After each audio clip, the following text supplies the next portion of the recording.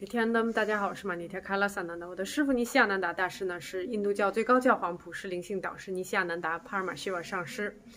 在今天早上呢，师傅在给我们的开示中讲到了现在这个 Chaturmasya，也就是说从净师节到九叶节呢，啊，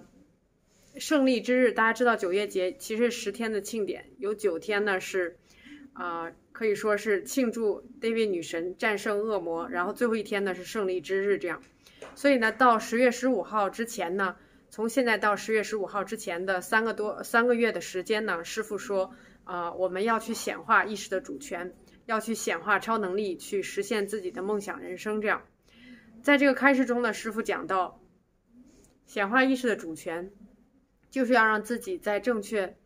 的时间，呃，把。自自己的时间和空间花在正确的事情上，嗯，他说，在过去的这个三年的时间呢，他被可以说是被这个，嗯，Parma Shiva 保护起来。大家知道，在过去的三年呢，其实师傅是没有和在人类社会的，啊，一直到现在呢，他所在的这个地方呢，啊，他也没有完全公开，所以呢，嗯，就是这样把自己保护起来呢，每天都是在宁静祥和的状态中。他说，就是可以去静心的，啊，做自己该做的事情，就是比如说在三摩地，然后下载，啊，所有的要给人类最好的礼物。他说他现在的点化能力呢是之前的上千倍。如果之前我们接受过师傅的点化，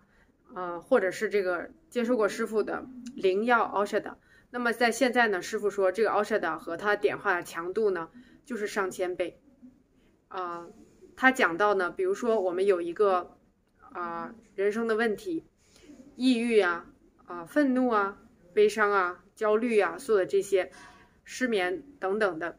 师傅说这这个奥夏达它强大到可以在你服用之后呢，立即的去打击对应的那个寄生虫，第二天早上你的寄生虫排出去之后，你的人生这个痛苦了十年的问题瞬间就不存在了，而且甚至你连想都想不起来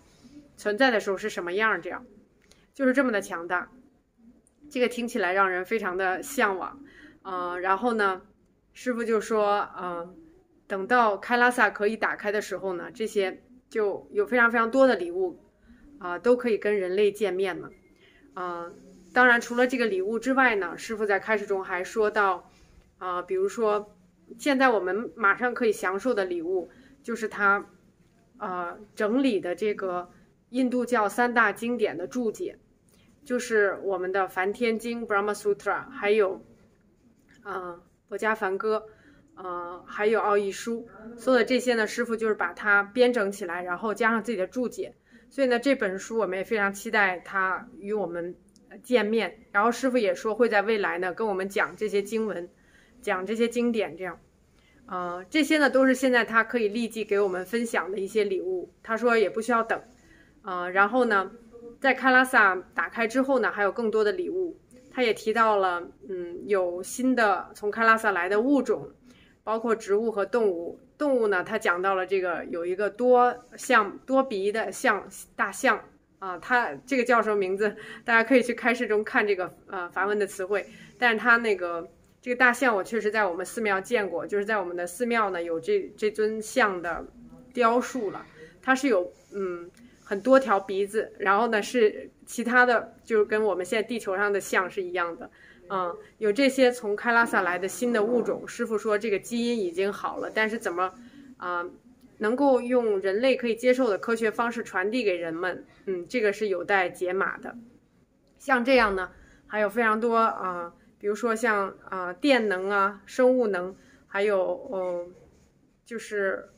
我们开拉萨的所有这些电子设备。啊，也都啊，已经完成了这个科技啊，但是怎么传递给人类呢？这些也都是啊，有待我们再一步的揭示啊。所以这些听起来就像是科幻故事，但是确实是现实。就是师傅在过去的三年呢，确实从开拉萨给我们带来了太多的礼物啊。然后呢，我们也非常的期待呢，这个这些礼物能够在开拉萨打开的时候跟我们见面。师傅在开始中讲到了，在泰米尔省呢，非常不幸的就是啊，很多灵性练习，包括穿刺和走火呢，就已经对于啊儿童以及啊，就是即便是有监护人的儿童呢，也都把它给禁止了，作为这个非法的行动。师傅说呢，其实他从小就非常喜欢这些活动，啊，这些呢是可以帮助我们，就是极其强大的从痛苦受害者的这种情绪当中走出来的灵性修行的方式。他从小呢就接受这样的，可以说是，呃，灵性的修行。呃，他说这个就是他们家族的传统。啊，没想到现在呢，这个无意识的印度教的政，呃，无意识的印度的政府不是印度教哈，他他是和印度教没有直接关系了。现在就是印度呢，已经不是印度教的国家了，他们支持的也不是印度教的传统，所以呢，像所有这些都已经在印度禁止了。所以呢，师傅在开始中也非常的感慨，趁着瑜伽和冥想还合法呢，大家赶紧去做吧。啊，也就是说呢，这个国家越走越偏，啊。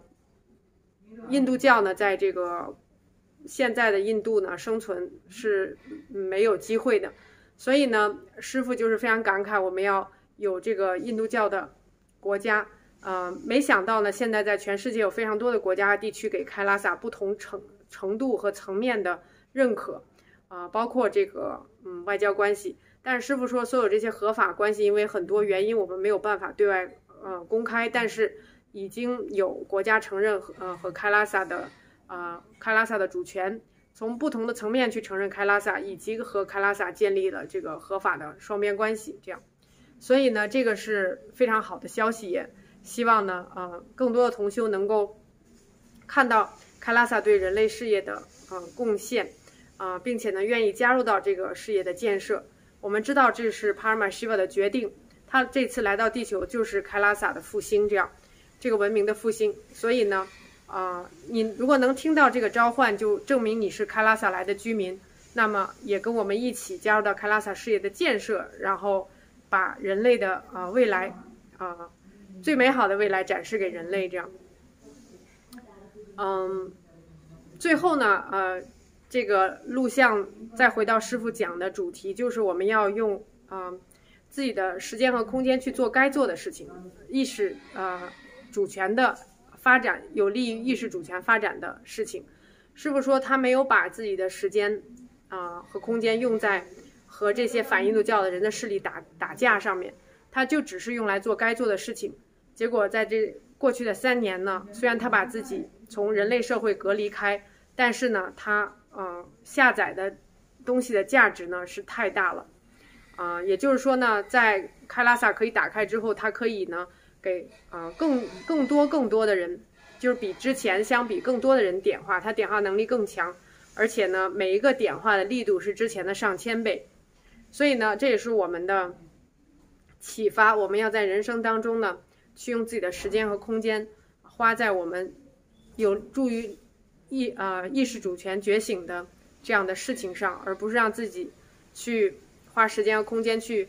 恨或者是。抗争身边的人或者这个世界，这些全都是幻象，而且是损害我们自己。